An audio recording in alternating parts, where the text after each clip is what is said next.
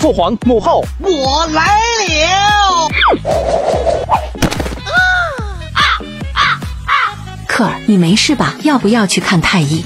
母后，儿臣没事，刚刚有一丢丢小失误，下次看我表演。哟呵，李克，老子没找你麻烦，你还敢来？嗯爹，你什么意思？我最近又没惹您。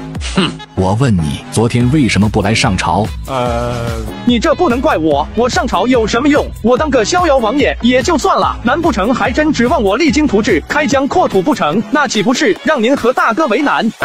别废话了，快滚过来！还有你带着箱子过来干什么？你说这个啊，我是过来给母后送礼的。哦你给我送什么礼？抬过来。母后，这是儿臣送给您的礼物。这是母后，这是儿臣发明的水银镜。克儿，这真的是你发明的吗？啊，对对对，这镜子儿臣发明出来就是为了赚钱的，毕竟我还要给我妹妹们准备嫁妆。为了这水银镜的研发，儿臣可是将几年的零花钱都砸进去了。我府上的下人可是好几个月的月例都没有发了。这不是镜子成功后，我立刻就拿过来孝敬您了。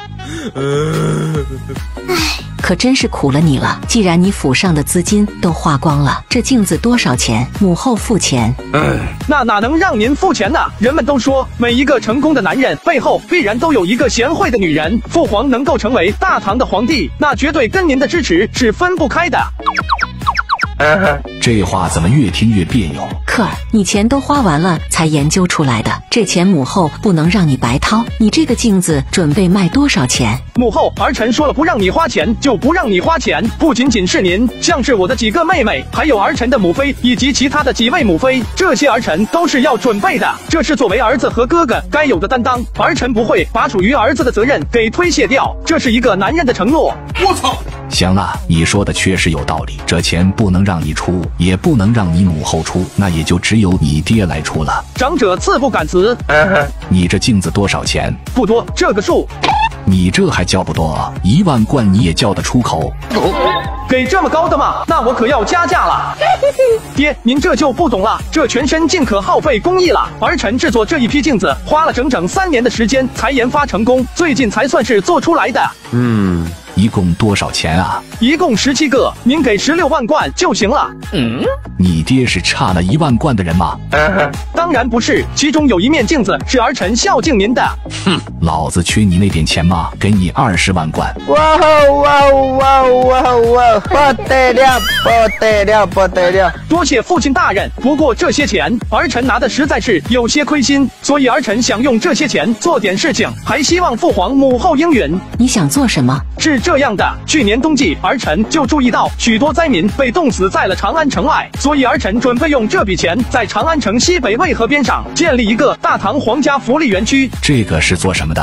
儿臣准备将名下商行的一些产业的工作放在这个园区内，然后招募这些灾民以及乞儿，给他们供给点吃喝，然后让他们干一些适当能做的活计，用来养活自己。这样他们长大之后，不管是成为一个普通的百姓，还是加入大唐的军队为国征战，这都是于国有利的事情。哇哦哇哦哇哦哇哦哇哦，不得了，不得了，不得了！你终于算是想到了一个好点子。既然为国办事，这事先上朝议论，然后钱肯定不能由你出，由朝廷来。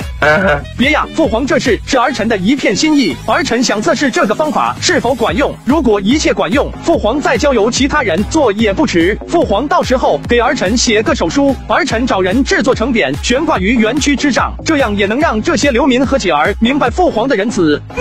嗯这手书我给你写，这是好事。那儿臣随后去跟万年县令购买相关的地皮，然后将地契给父皇您送来。嗯你这说的什么话？你为国办事，花你自己的钱也就算了，地皮难道还要你来购买吗？这样，明天我下旨让万年县令给你划一万亩土地出来，地契你自己留着，就算最后办不成，这地就算是赏你的。呃，好了，克尔，就听你父亲的。你想一想，你这园区的名声是为你父亲办的，如果你父亲一点钱都不出，让人说出去，有损皇家威仪。那儿臣就不推辞了。父皇没事的话，那儿臣就先走了。管吧。三哥，三哥，三三哥，我可想你了，你是想三哥了，还是想三哥给你带的玩具了呀？就是想三哥了，因为也就是三哥你没事才陪我们玩，连九哥都不愿意跟我们玩，大哥每天都在忙。四哥，哼，好了，三哥今天可是给你们带了好东西过来的。什么好东西呀？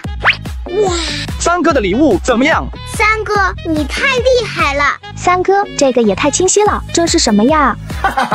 这是水银镜，是三哥给你赚嫁妆的东西，可是花了不少力气。三哥实在是不行，我嫁给他也没什么。你就放心好了，一年以后他长孙家要是能拿出比我给你的嫁妆多的聘礼，除非他们家有人跟三哥一样天才。嗯，三哥找你帮个忙，三哥，你说